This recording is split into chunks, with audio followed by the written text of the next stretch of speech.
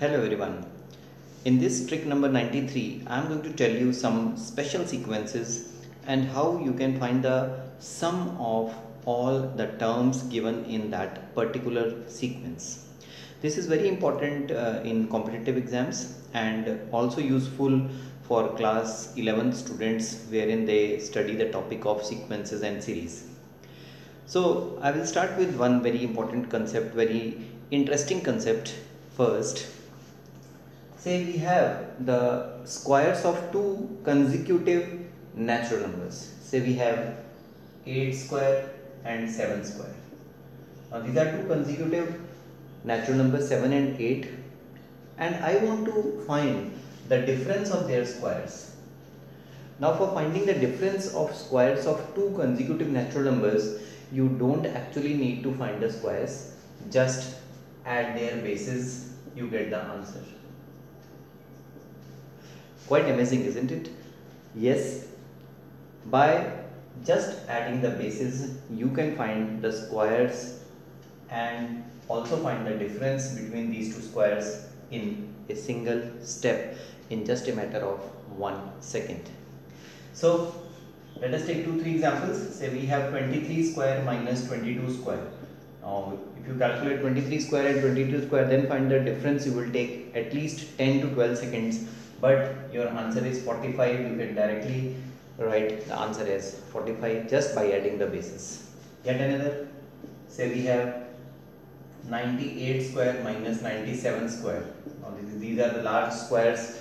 You, uh, you don't usually remember the squares of such large numbers so you need to have this shortcuts up your sleeves so 195 will be the answer now come to some special sequences say we have natural numbers. 1 2 3 4 so on up to we have n terms.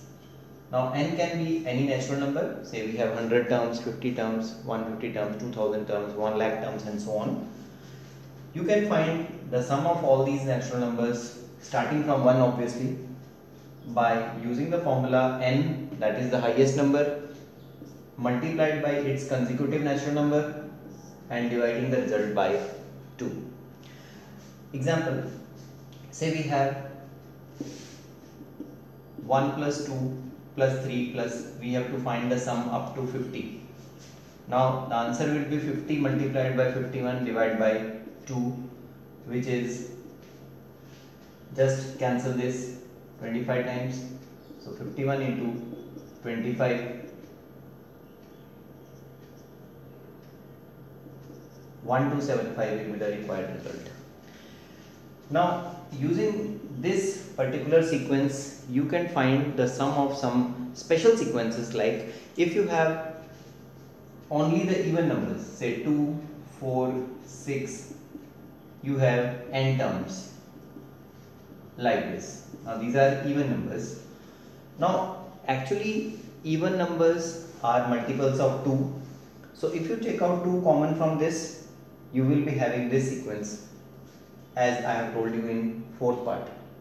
So just get rid of this 2 n into n plus 1 will be your answer for adding first n even natural numbers.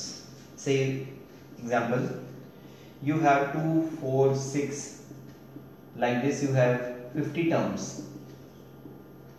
Now 50 terms, the final number here will be 100 because you are, you are taking only the even numbers. So your answer will be you have 50 terms, so 50 into 51 will be your answer for this. So this will be 2550. Similarly, when you have to find the sum of first n odd numbers, say 1, 3, 5, so on, and you have n terms of odd numbers. Now this is again a very very simple concept. If you observe here, if we take two, two odd numbers, first two odd numbers, the sum is 4 and that is 2 square. If you take three odd numbers, the sum is 9, that is 3 square. So, here if you take n odd numbers the sum will be n square very very simple and for example if you are taking the odd numbers say we have first 25 terms. Like this 135 if you write 25 terms your answer will be 25 square 625 you don't need to add all the odd numbers individually. Now we here we have taken all the natural numbers. Now I take the squares. Say I have the squares of all natural numbers. 1 square 3 square 4 square 3 uh, 1 square 2 square 3 square 4 square and so on. And I have n squared. Say I have taken first n natural numbers whose squares are to be added. Now again for adding the squares we just need to remember one small step.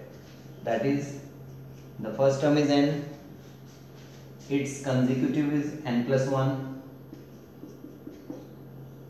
then double n plus 1 and divide by 6 this is the shortcut for finding the sum of squares of first n natural numbers. So if you want to add the squares up to say I take 20 now these are 20 terms so n the value of n is 20 n plus 1 is the consecutive of n so 21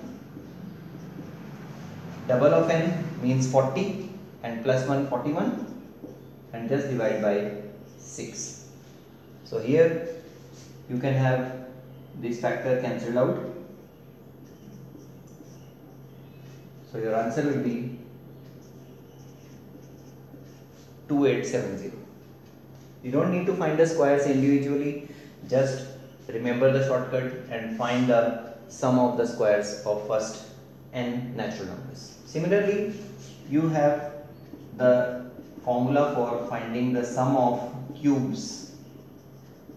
This is again very very easy and if you remember the formula for finding the sum of first n natural numbers n n plus 1 by 2 then you can remember this also because in this shortcut we just write n n plus 1 by 2 which is the same formula here and we find the square of this to find the shortcut for obtaining the sum of cubes of first and natural numbers. The example if I am taking 1 cube, 2 cube, 3 cube I have to add the cubes up to say I take 15 so no need of finding all the cubes here just write 15 its consecutive 16 and divide by 2 then find the square so 2 cancels out 15 into 8 is 120 and the square of 120 is 14400.